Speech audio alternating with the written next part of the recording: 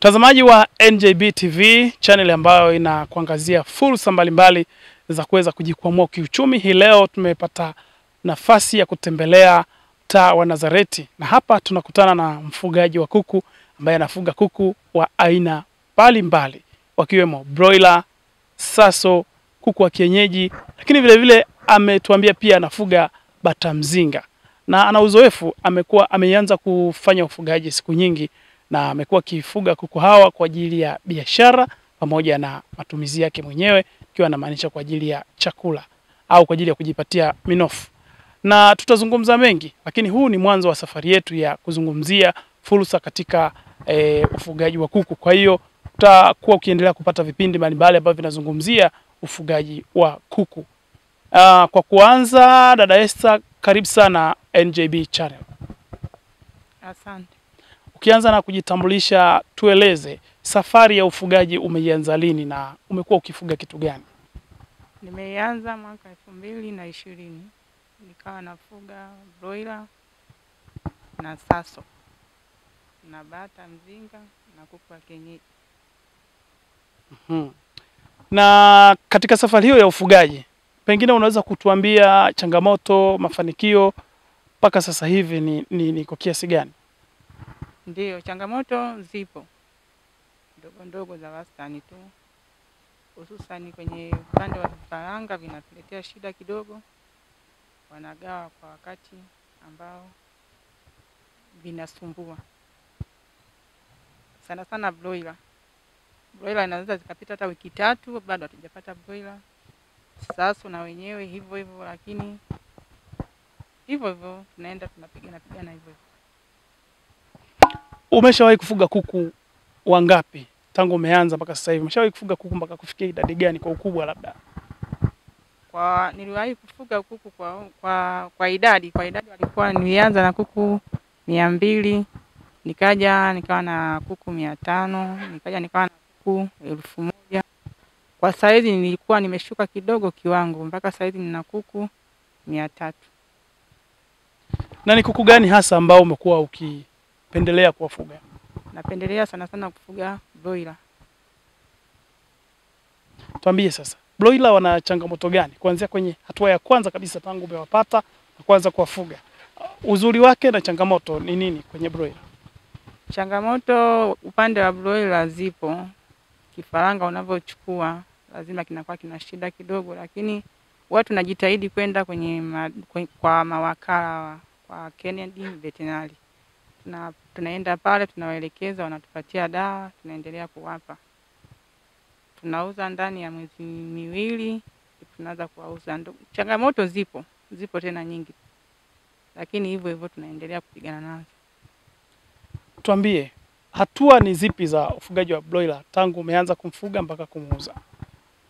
Hatua na nikitoka kuchukua kifaranga cha siku moja, naanza kwanza na glukosi. Siku ya pili naanza na vitamini na chakula natumia starter. Starter ya Sivalent Natumia mpaka siku kumi na nne. Ila wastani natakiwa tutumie siku ishirini, lakini hivyo kiuchumi tunatumia siku kumi na nne. Na nikifika siku kumi na nne zile naanza tena kuchukua, naanza kutumia nani grower grower ya Sivalent mpaka siku ishirini na moja ishirini na moja natumia natumia mpaka ikifika siku thelathini naendelea kutumia gurua hivyo hivyo, nakuja ndipo naanza kuanza kuwauza. Na changamoto kwenye uuzaji, broiler wana soko, lakini hivyo wakiwa wengi wateja, yaani mteja mwingine anataka mpaka elfu sita anataka mpaka elfu saba elfu sita yaani tuseme wafugaji kiujumla Njombe hatuna ushirikiano. Tungekuwa tunakuwa tuna ushirikiano au vile tunaenda tunachukua vifaranga wiki hili tunaambizana, wiki hili achukue huyu, wiki hili achukue huyu, biashara ingekuwa ipo, lakini hatuna huo ushirikiano. Ni wote tunaingiza kwa mara moja na wote tunatoa kwa mara moja, kwa hiyo biashara zinakuwa hamna. Wateja wanataka mpaka kuku elfu saba elfu nane na kifaranga umechukua elfu mbili mia moja mpaka uje uuze, biashara inakuwa hauna faida yoyote ile, yani unakata mtaji. Uta, utajikuta umechukua vifaranga mia mbili mpaka uje uuze tayari tena unakuja unashuka utachukua tena vifaranga mia.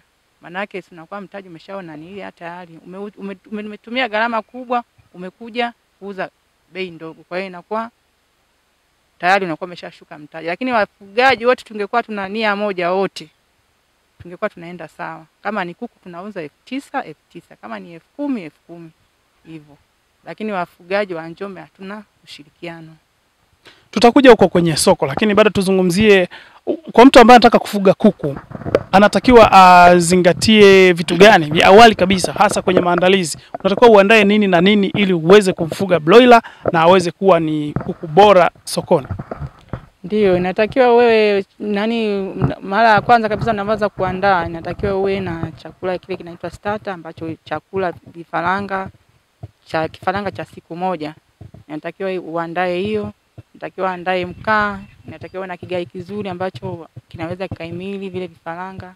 Inatakiwa uwe yani, moto ule ukikolea, uandae vizuri, uingize ndani, wewe umekolea kabisa. Usipofanya hivyo, lazima uta, utapata madhara yoyote, aidha inaweza vikafa au vikazimia, yani au unaweza ukaunguza nyumba, lakini ukiandaa hivyo unaenda tu vizuri. Watu wengi sana wamekuwa wakitamani kufuga broiler lakini hawafiki mpaka mwisho, au unaweza kusema hawafanikiwi. Wanasema broiler wamekuwa na changamoto uh, kwenye ufugaji. Pengine wewe una, unafanikiwa vipi mpaka kufikia kuwauza sokoni? Nazingatia usafi wa vyombo vyangu vya maji na usafi wa vyombo vyangu vya chakula, na ninavyoingia kwenye kile chumba ambacho kina wale kuku nakuwa niko vizuri. Na pengine sasa uki, ukianza labda na kuku mia unafanikiwa kufikisha kuku hao mpaka mwisho kuwauza? Hapana, lazima wanakufa. Ukiwahudumia vizuri wanaweza wakafa watano. Ukiwahudumia nani, yani sivyo kama hivyo tunavyosema usafi wa vyombo na usafi wa chakula, wanaweza wakafa hata zaidi ya kumi au ishirini na wengi tu watu wao wanapata hasara, yani usipozingatia ya, nani ile mara ya kwanza kuanza na chakula vimekula vizuri, lazima hasara unaipata, vinakufa sana. Unaweza ukajikuta hata kuku katika mia wamebaki labda sabini, wamebaki themanini. Kwa hiyo lazima unapata shida hiyo kutokana na mara ya kwanza ulikuwa hujavihudumia vizuri, ila ukihudumia vizuri mara ya kwanza mpaka unakuja kuuza, unaweza ukaona una ume, umepata changamoto ndogo sana, kuku labda watano au wanne hivyo. Na broiler kwa kawaida unamfuga siku ngapi mpaka uje kumpeleka sokoni? Kawaida ni siku thelathini ambayo sasa na mwezi mmoja. Hiyo inashangaza ina, ina, ina labda kwa mtu ambaye hajazoea ufugaji, amezoea kufuga kuku wa kienyeji. Siku thelathini tu zinatosha kuku kumtoa na kumpeleka sokoni? Ndiyo, zinatosha ukitaka yani, ndio hivyo tuseme, ile ni hela, unataka hela kwa haraka haraka, lakini ukitaka uwafuge vizuri, hata miezi miwili unaweza ukawafuga, wanakuwa vizuri hapo, wanakuwa wamekomaa vizuri. Miezi miwili nani, maanake hapa inakuwa kama ni siku. Sawa, hebu tueleze sasa, unapataje faida ikiwa umetumia gharama za kununua chakula, kununua eh, madawa pamoja na chanjo Una, faida ikoje kwa broiler ambao umewanunua tangu wadogo na umewafuga siku thelathini? Ndiyo, faida napata kwa kuku mia mbili nikiwamaliza wote ninapata faida laki nne nikitoa chakula nitoe kila kitu, gharama zangu, madawa, napata faida laki nne. Na kama wa, wa, wa, ikitokea labda wamekufa, huwa huwa inakuwaje sasa hizo gharama au hizi gharama ulizozitumia unafidia vipi? Hapo ndo inatakiwa nifidie, nipate wateja wale ambao wanaweza wakanunua waka, waka, waka kwa shilingi elfu kumi au elfu tisa pale na balansi, ili nipate faida ya kufidia wale waliokufa. Baadhi ya wafugaji wamekuwa wakitumia e, chakula cha mchanganyo ambacho hakiwafanyi wao e, kutumia gharama kubwa kama ambavyo yule ambaye ametumia chakula cha dukani moja kwa moja. Umeshawahi kujaribu kutumia chakula ambacho ni cha mchanganyo sio cha dukani, na faida inakuwaje na madhara ni nini? Ndiyo, niliwahi kuwatumia, niliwahi kutumia. Hauwezi kupata faida yoyote ile, zaidi zaidi tena utakula hasara zaidi ukichanganya chakula kile, maanake utachanganya pumba, mashudu na kile chakula utaweka sio vile inavyotakiwa, wale kile chakula ambacho ni pure. Ukichanganya kuku wanarudi wanakuwa wadogo, kwa hiyo itakubidi ufuge mpaka ile miezi mitatu. Wakati huo tena una- unazidi kuingiza gharama zingine. Laiti ungefuga mpaka ile miezi ile siku thelathini, tumia chakula kile kile ambacho ambacho wenyewe wanaweza wakala ile bila mchanganyo wowote ule, haupati hasara tena. Unaweza ukatumia mifuko michache sana, ni gharama na ile utakayotumia mchanganyo. Utafuga kwa muda mrefu na faida utaiona. Kwa, kwa, kwa uzoefu wako umegundua ni nini kinafanya broiler wafugwe siku thelathini tu wakati kuku wengine wakichukua zaidi ya siku thelathini kwa maana ya mwezi mmoja? Nimegundua unatumia kile chakula ambacho hakina mchangano Tumia chakula original. Silverland grower ndio hicho inatakiwa utumie. Ukitumia mchanganyo huwezi kupata faida yoyote ile. Kwa hiyo na, na wafugaji wenzangu watumie chakula ambacho kinatakiwa kutumia, usichanganye mchanganyo wowote ule. Tumia chakula grower ambayo haichanganyi, pale ndipo tunaweza kupata faida. Umekuwa mzoefu kwa muda mrefu, umesema umekuwa ukifuga eh, hawa kuku aina ya broiler. Pengine unaweza kutuambia ni kipindi gani ambacho ulifuga ukaona umepata faida kubwa? elfu mbili na ishirini na tatu pale ndo nilikuwa nimepata faida kubwa sana, maana nilikuwa na wakuku wengi, na kipindi hicho wafugaji walikuwa ni wachache. Tulikuwa tunaambizana, awamu hii anabeba huyu, awamu hii anabeba huyu, tofauti na saa hizi wafugaji tumekuwa wengi, alafu hatuna mwelekeo. Wote tunaingiza kwa wakati mmoja na wote tunatoa kwa wakati mmoja. Ulisema pia kuna changamoto ya upatikanaji wa vifaranga. Inakuchukua muda gani tangu umetoa oda kama wakala mpaka uje kupata vifaranga? Uh, lakini pia hiyo inakupa inakuwa na madhara gani? Unaweza ukachukua wiki tatu au wiki nne hujapata vifaranga. Vifaranga vinakuja vichache, haviji kwa wakati, inakuja yani sana sana wanakuja, wanapata baadhi ya wengine, na zaidi zaidi mimi napenda sana kufuga broiler.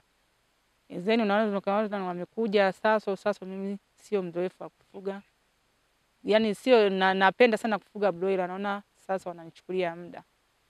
Kwa hiyo napenda sana kufuga broiler. Wakija sasa, mimi sasa siwezi kuchukua, basi hivyo nakosa vifaranga vinakuja vichache, wiki tatu, wiki mbili, mtu naenda unafuatilia vifaranga vinakuwa hamna.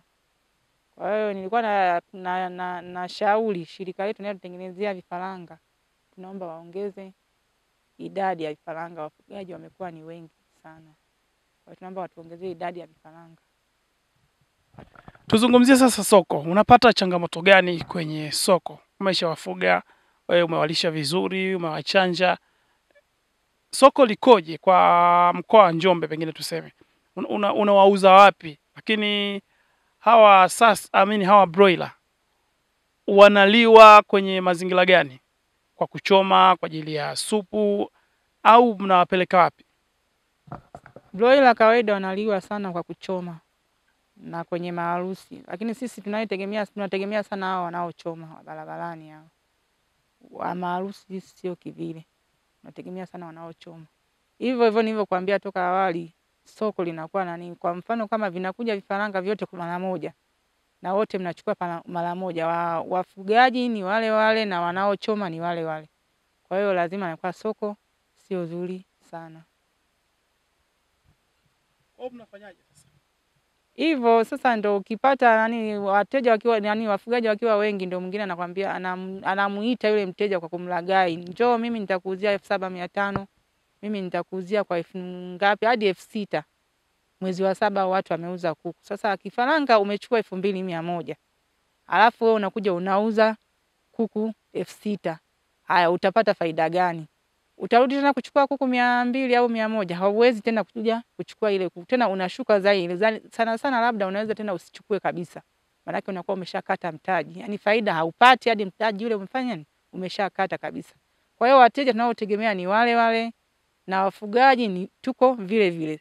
Kwa hiyo mteja yule unamvuta, unamwambia mimi naomba, naomba uje nitakuuzia shilingi kiasi fulani, unaona. Na yule mteja sasa, wewe kwako akija wewe ukimwambia ni elfu tisa au ukimwambia elfu kumi anaambia "Ah, mbona kwa mtu fulani tulinunua mfugaji mwenzio, mbona tulinunua elfu saba Haya, na wewe tena tayari unafanya nini? Unashuka, unauza na wewe tena ile ile bei. Maanake unaona haya, muda umeenda, chakula kimeisha, kwa hiyo na wewe tena unaanza kushuka. Wafugaji wa Njombe hatuna ule ushirikiano. Kwa hiyo tungekuwa tuna ushirikiano au hawa mawakala wetu wangekuwa wanatuletea vifaranga labda kundi hili au mtaa wa Nazareti tunataka tushushe vifaranga kadhaa, wafugaji wapo wangapi, hivyo tungekuwa tunapata faida kubwa, lakini wote vinakuja kwa mara moja. Unaweza ukaona kwa mwezi huu vimeshuka mara tatu au mara mbili. Haya, mwezi unaokuja vinakuja vinashuka hata mara tano. Haya, hizo kuku tutamuuzia nani? Na wachomaji wakati ni wale wale na wanunuaji ni wale wale. Kwa hiyo lazima mtu mwingine kwa kumvutia yule mteja anasema naomba uje nitakuuzia elfu saba mia tano. Unakuja unashangaa unauza kuku wote mia mbili, faida haupati. Unakatika tena mtaji. Unaweza tena unaanza kurudi nyuma tena unaanza kuchukua mia. Kwa hivyo wafugaji wa Njombe hatuna ule ushirikiano. Na mafanikio yakoje? Umefanikiwa vipi kutokana na ufugaji wa broiler? Umefanya mambo gani ambayo unaweza ukajivunia kwamba kitu fulani nilikifanya kwa sababu ya ufugaji wa kuku aina ya broiler ambao wanafugwa siku thelathini tu? Mara ya kwanza toka awali awali hiyo nili, nili, yani nili, nili, nilikuwa napata faida kubwa sana. Niliwahi nimenunua shamba la parachichi kutokana na ufugaji. Nimekuja nimesomesha watoto kutokana na ufugaji. Lakini zeni mpaka saa hizi ni kwa mwaka huu sijafanya chochote kile. Mpaka nilikuja baadaye nikasimama nikawa sina mtaji kutokana na masoko. Hatuna soko yani.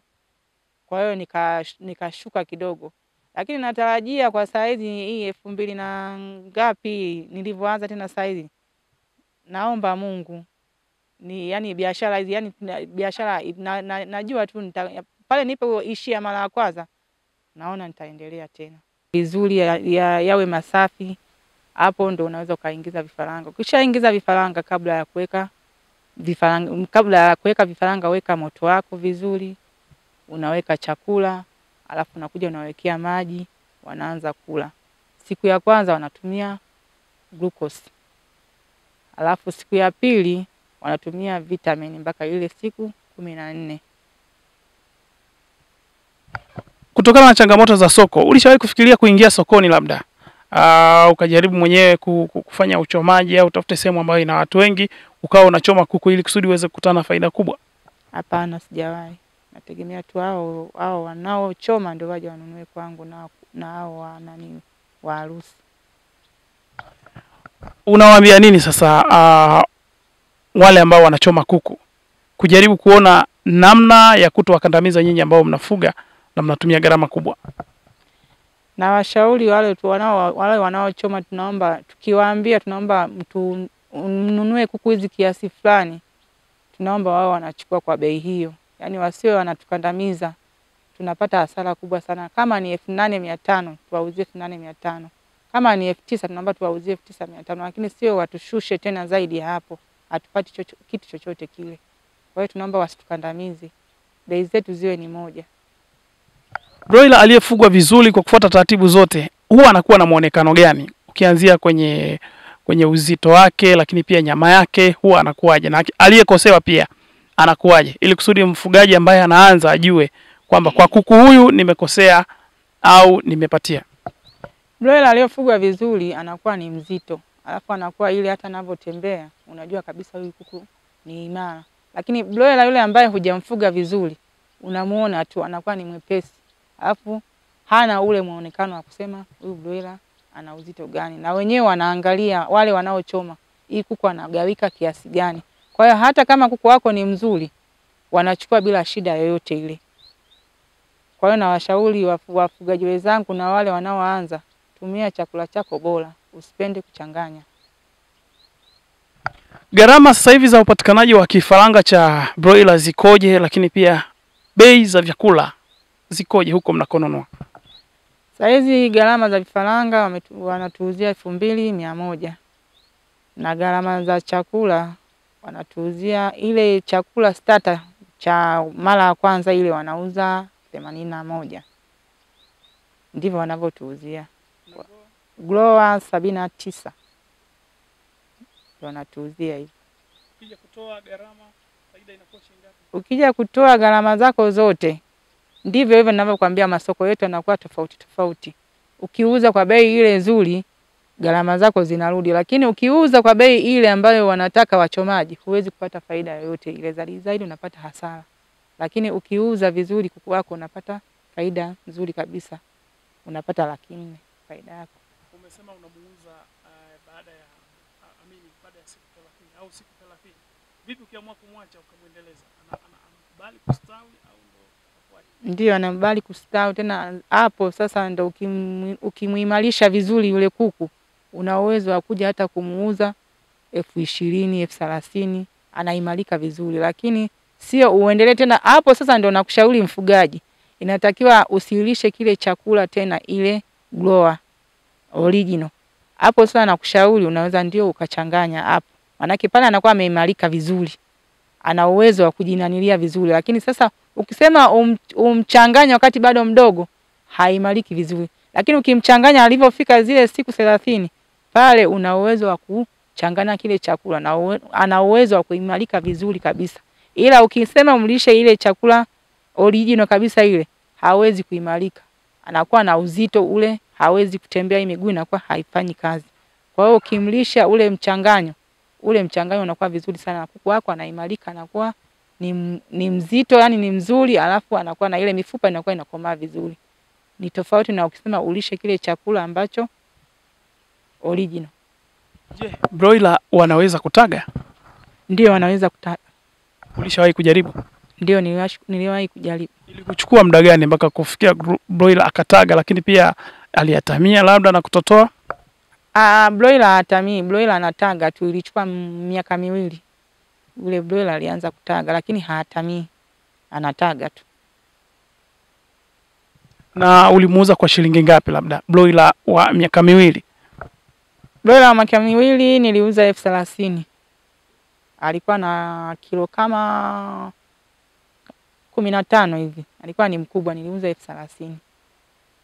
Maanake hapo alikuwa anajitegemea nje, simweki tena ndani, akawa yupo vile anatembea tu nje.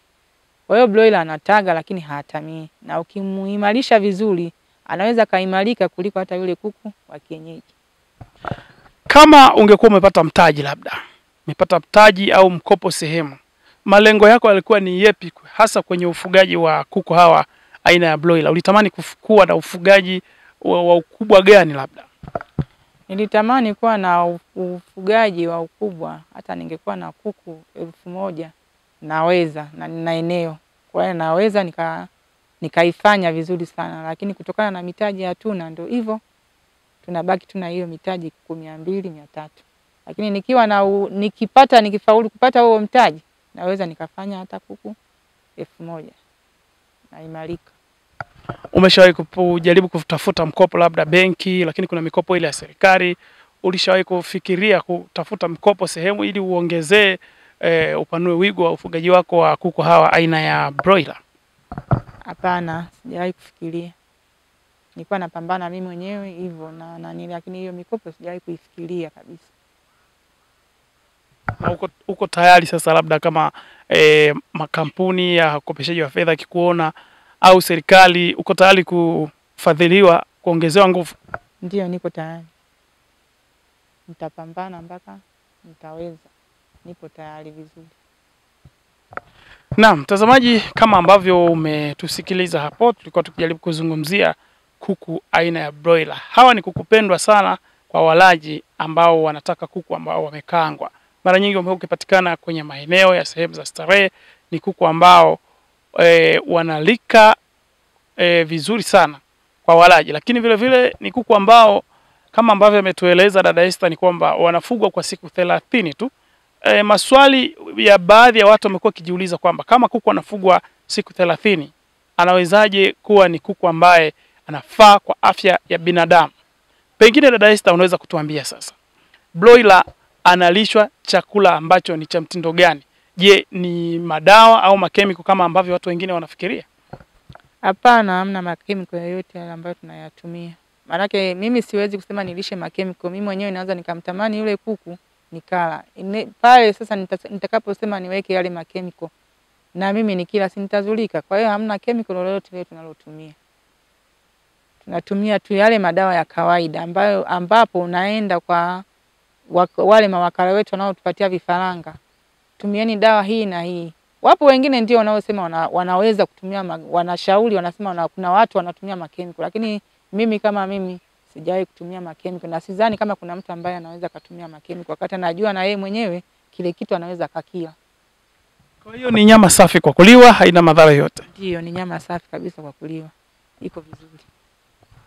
Shukrani sana kwa kutufuatilia NJB TV. Tafadhali uendelea kufuatilia, subscribe, share na uweze kuwa namba moja kupata habari zetu, hususan zile ambazo zinakuletea fursa ya kuweza kuinua kipato chako. Mimi ni mtangazaji wako Prosper Mfugale, na hii leo tulikuwa na dada yetu Esther Kalinga ambaye ni mfugaji au mbobezi wa ufugaji wa kuku aina ya broiler lakini vile vile nyuma ya kamera tuko na Michael Mwamlima. Asante kwa sasa.